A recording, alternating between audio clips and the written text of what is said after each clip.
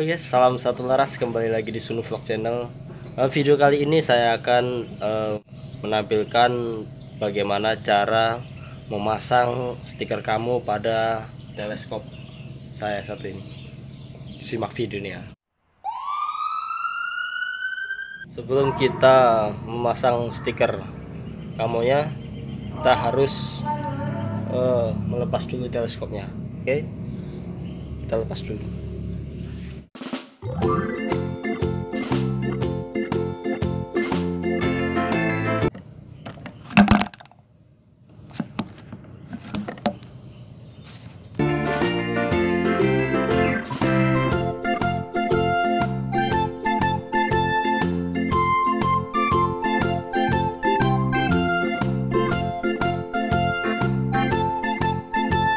Oke guys, alat yang digunakan tentu saja yang pertama teleskop, kedua stiker kamu, kemudian ada cutter, spidol, gunting, korek, dan juga kertas HVS bekas ya.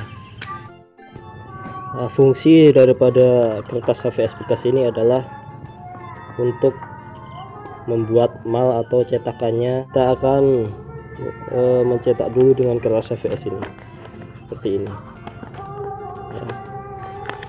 setelah ini nanti kita jadi baru kita cetak kita lihat cetak ke stiker kamu ya. Oke guys jadi seperti ini jadinya cetakannya untuk bagian sini. Nah kenapa saya menyarankan menggunakan kertas HVS atau tidak langsung ke stikernya? Karena untuk bentuk yang datar seperti yang ini mungkin akan mudah ya.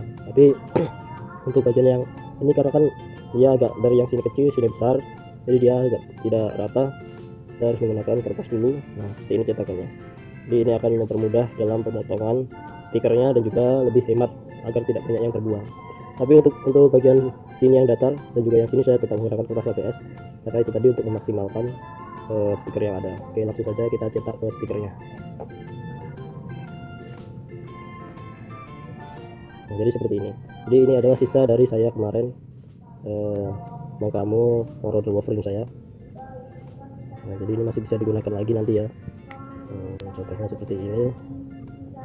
Hmm, jadi dia masih bisa digunakan. Nah, kita gambar dulu polanya. Menggunakan spidol. Nah, spidol yang saya gunakan tidak permanen ya. Karena kalau permanen merusak coraknya. Spidol biasa aja. Karena ini juga gak, gak langsung kehapus kalau kena tangan. Agak susah ya megang kamera kelas ini mempermudah kita dalam uh, memotongnya nanti.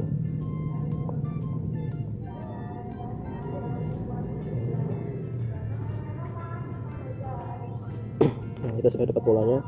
Kelihatan ya. Langsung kita gunting aja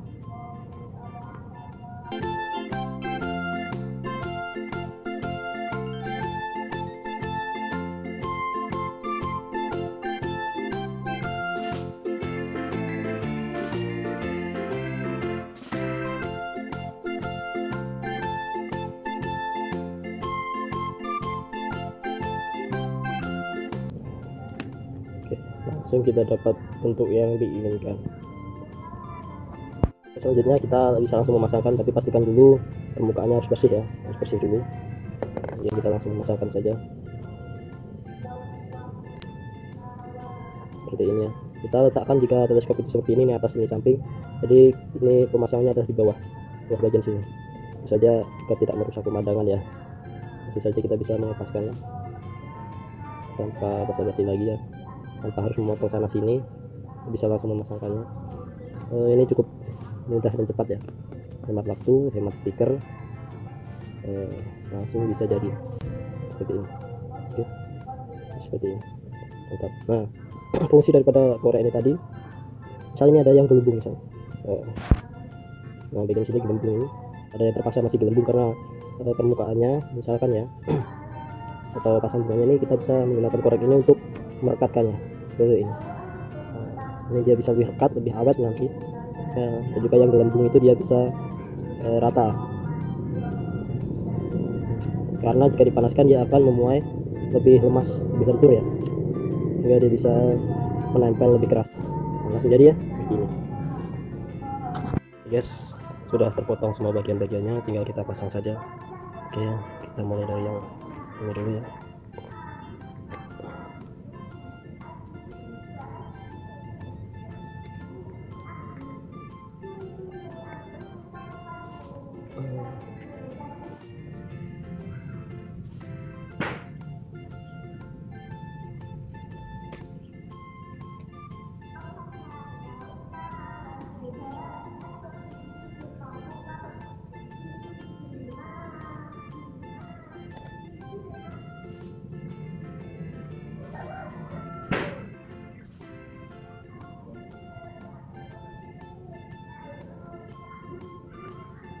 oke langsung pas. Lanjut yang kedua.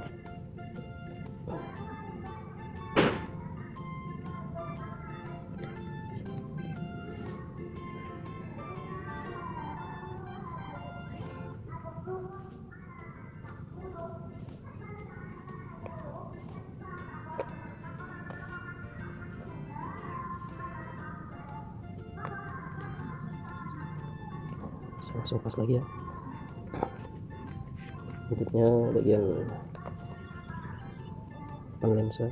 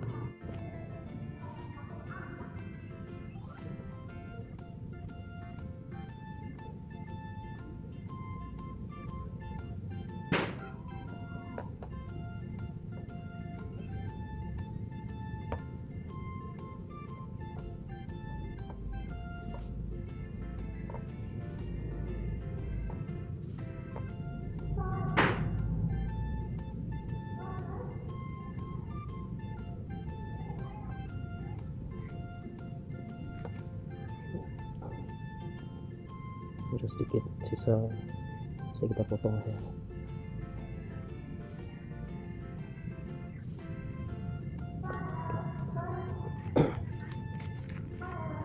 bagian bawah turret.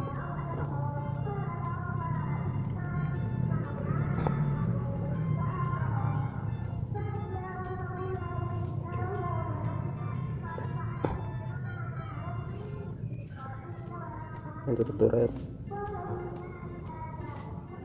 ini agak nggak rata ya nanti kita bakar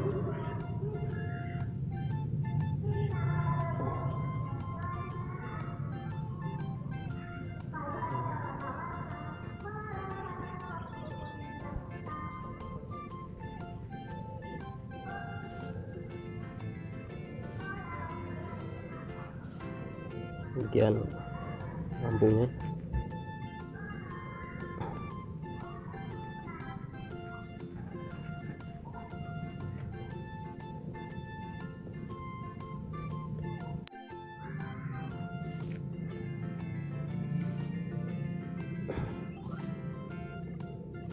bagian sininya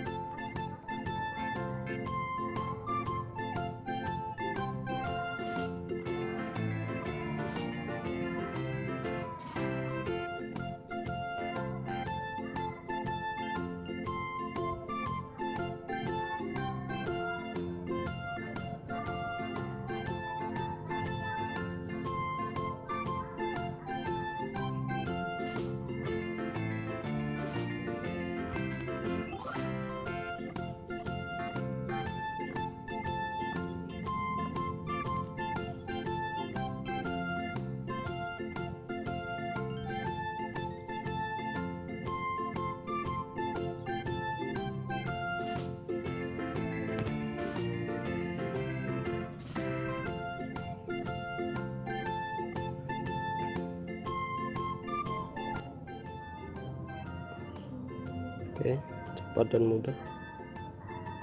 Cukup rapi ya